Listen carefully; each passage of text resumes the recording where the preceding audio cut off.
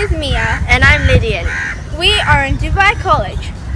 We are in year 7. And our topic is the physics of hula hoops.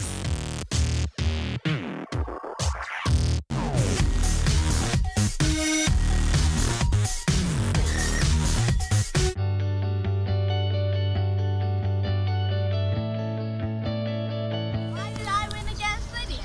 Was it just your skill? No, it was because of three forces. Friction, torque, and centripetal force. Torque is a twisting outward force that rotates an object on an axis. In, in this case, you are the axis. It is needed to keep the centripetal force going. Centripetal force is the force that allows an object to move in a curve around the axis. For example, the hula hoop around your body. Friction is the force generated when your body and the hoop come in contact. Upthrust helps keep the hoop up. It will keep moving depending on the angular momentum. The angular momentum is the rotational equivalent of mass. Objects with more mass are more likely to keep moving. Momentum must be maintained, otherwise gravity will pull it down.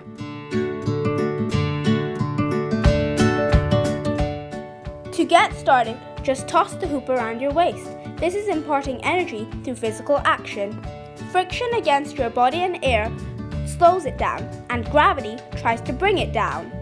To keep it up, you have to apply force to the inside of the hoop. You must provide enough outward force to overcome gravity and keep the hoop horizontal.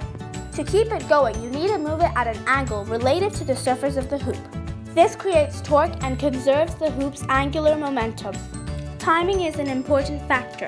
Your hip movement has to be slightly ahead of the hoop, pushing it along.